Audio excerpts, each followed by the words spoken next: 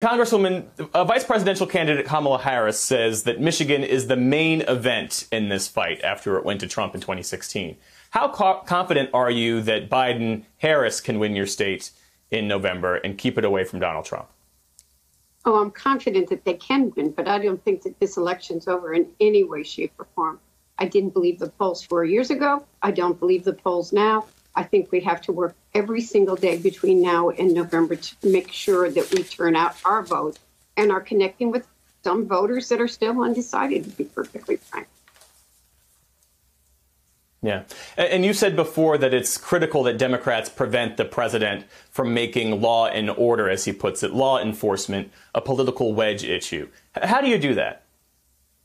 Well, I am not going to, I feel very strongly about this. And as you know, I identified this issue several months ago before it, it became such a public issue in the last couple of weeks. I, I, we have seen, I mean, if you look at the videos from Wisconsin, that uh, yeah, a black man was treated differently than a, a white man. We have racial injustice in our country. We have to have that dialogue. It's an uncomfortable dialogue, but you don't throw kerosene on that fire.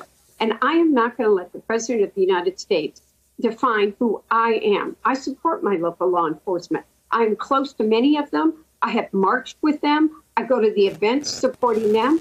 There are problems, and we have to address those problems. But quite frankly, they are part of addressing these problems. And I do not support anarchy. I do not support rioting. I do not support looting. I do not support violence of any kind.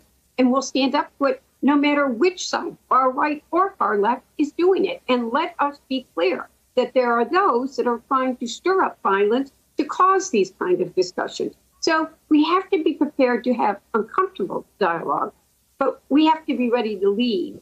And you don't put kerosene on a fire that's already up.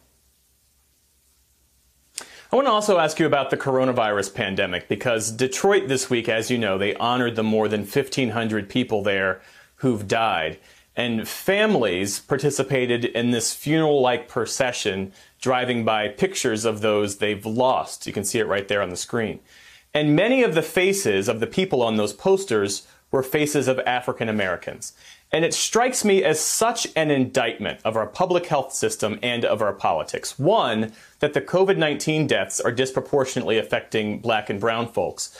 But two, that it's apparently going unnoticed by the mostly white Michiganders who still back the president's handling of the pandemic and are, are still supporting him. So, how do you make sense of that?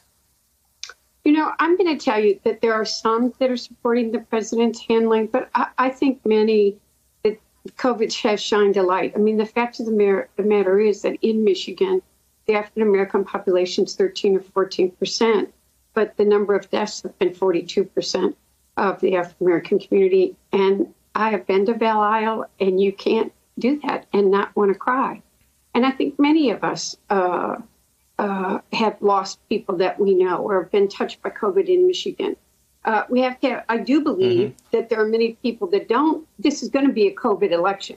But what we have to remind people, they're worried about their jobs, the economic issues, the economy right now, and it contracted 10%, the most since Herbert Hoover in the last six months because of the handling of COVID. And that's what we've got to do a better job of is reminding people that the economy that they're worried about is where it is because of the way COVID was handled by this administration and the president.